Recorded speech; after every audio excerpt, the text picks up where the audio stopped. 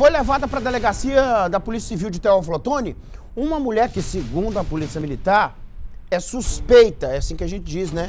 De uma tentativa de homicídio em outra cidade do Vale do Mucuri, a cidade de Caraí. O Fantônio tem os detalhes, vai contar pra gente.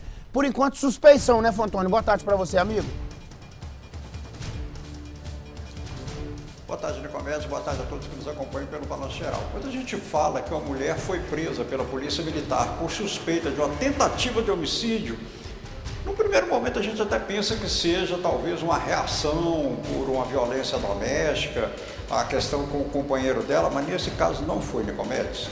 A mulher tentou matar o próprio irmão, e isso numa disputa, num, num, num atrito que já vem entre a, a, mulher e o irmão dela por conta da questão de herança.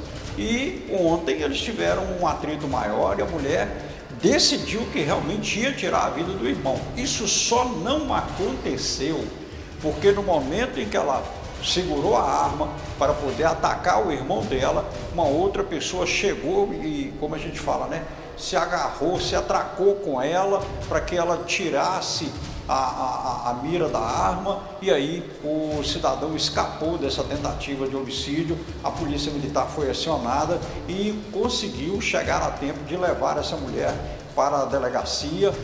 E agora o Nicomedes, o que se espera? E ela confirmou. Ela confirmou a versão de que ia realmente e só não conseguiu porque houve a interferência de uma outra pessoa. E agora o que se espera é que com esse inquérito policial a polícia consiga é, colocar paz e que as pessoas entendam, até a própria suspeita, essa mulher suspeita, entenda que há necessidade de paz entre ela e o irmão, porque é uma situação bastante grave, né, Comedes? Irmão tentar matar irmão, a história é antiga, essa situação é, não é de hoje, mas o que precisa é ter paz nessa família, Nicomedes. Concordo, Fantônio. É triste falar isso, né?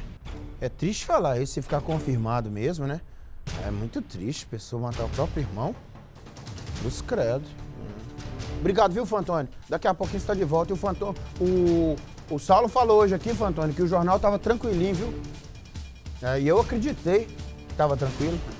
É, daqui a pouquinho você está de volta aqui no BG. Fantônio tá rindo, porque não é ele, né?